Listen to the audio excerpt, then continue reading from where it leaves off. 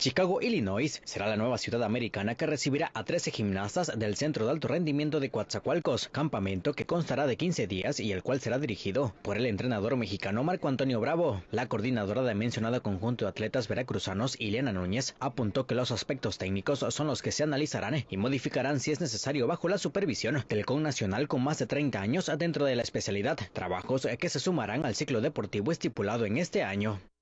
Sí, estamos hablando ya eh, de nivel nacional que ocupamos nosotros en nuestra tabla, que es el nivel 8 y nivel 9, que es por el cual nosotros estamos interesados.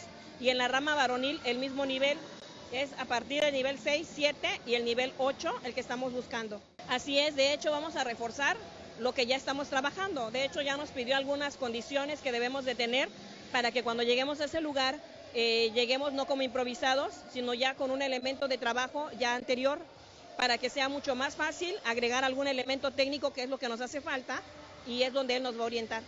Esta se convertirá en la tercera ocasión en la que este grupo tendrá una salida al extranjero, por lo que para los gimnastas se convierte en una oportunidad importante para intercambiar conocimientos y desarrollar sus habilidades.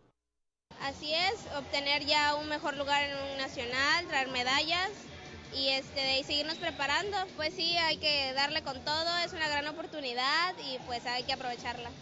Luego de su estancia en la Unión Americana, el mismo seleccionado seguirá con su gira, ya que su siguiente parada será Puerto Rico, donde participarán en un campeonato internacional. Pues más que nada es este, superarme para poder ir este, a niveles más altos, para este, traer más medallas aquí a Coatzacoalcos. En la cámara Rodolfo de la Cruz, para más deportes, Enrique Martínez.